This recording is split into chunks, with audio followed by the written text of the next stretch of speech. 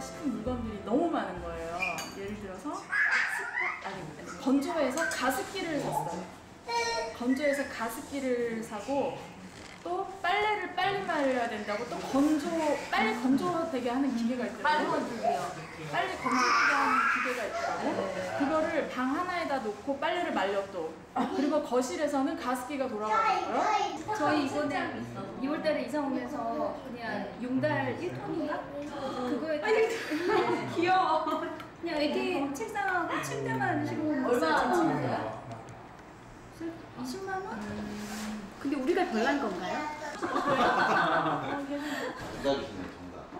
경복궁에 가봤더니 예전에 그 왕이 직접 사용했던 방을 이렇게 보여주는데 굉장히 작아요 방이 실제로 임금님이 사용했던 방도 아주 작고 또 실제로 우리 어렸을 때 할머니 집에 시골에 가보면 자체가 미니멀하잖아요 실온다고 하나 그 위에 그냥 이불 있고 작은 그릇 뭐 끝이잖아요 다 생각할 수 있거든요 무력을 버리고 간결하게 줄이는 삶.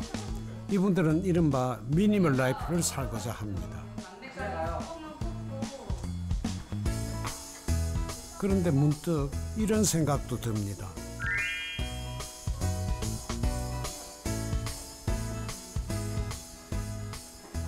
근데 오히려 저는 장난감이 별로 많지 않거든요 집에. 사람들이 아이를 학대한다고 아니에요.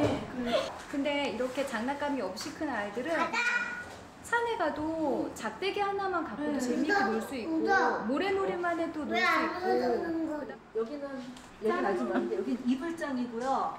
갖고 싶은 유혹을 뿌리치고 애써 횡한 집에서 산다는 게 보통 결심은 아니어 보입니다. 뭐 싸게 팔, 판다고 하면 1 플러스 1 이런 거 이렇게 안 사세요? 안 사요. 그냥 우리 들은 아직까지 코스트코 안 가봤어. 저도 안 가봤고. 저도 저도 오늘 수면 끊었는데 많이. 아니 가고 가보고 싶어요. 나 가고 돼요. 나도 가보고 싶더라고. 가보고 싶더라고. 사실 물 싸다고 물이 얼마였지? 800원, 700원, 물 800원짜리 사려고 가서. 30만 원 쓰고